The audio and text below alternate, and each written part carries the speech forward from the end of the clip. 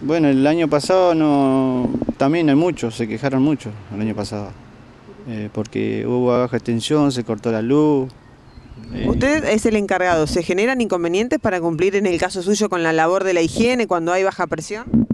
Y eso es, es normal, es normal, así que no. ¿Ha pasado otras veces? Y sí, sí, sí, pasaron, pasaron otra vez.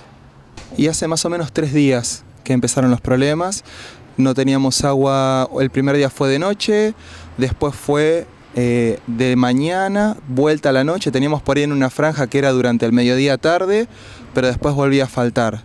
Y bueno, mucha gente que ha llegado de noche de trabajar y por ahí no se podía bañar, se encontraba con que no, no puede hacer sus cosas, ¿no?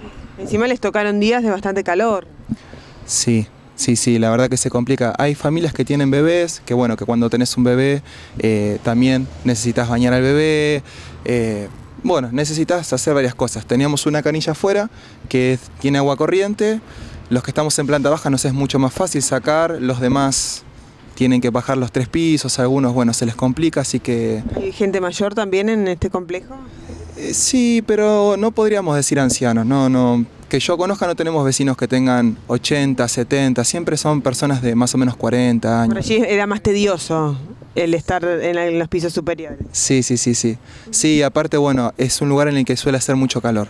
Calienta mucho el, edificio y cuanto más subís los pisos, más se siente, es mucho más agobiante. Recién nos contaba que son, eh, nos contaban que son 98 familias las que viven en estas torres. Eh, un número un número bastante, bastante importante para verse afectados con el tema del agua. ¿Se supo cuál fue el origen? ¿Qué pasó? ¿Cuál era el problema? Raúl me comentaba que estaba tapado el filtro, ¿sí? En otra ocasión no fue eso. Esto no es la primera vez que pasa, por ahí ya ha pasado el año pasado, en, en verano, y en un momento fue un problema de presión con el tema del agua. En otro momento, bueno, hubo problemas con las bombas adentro en el edificio.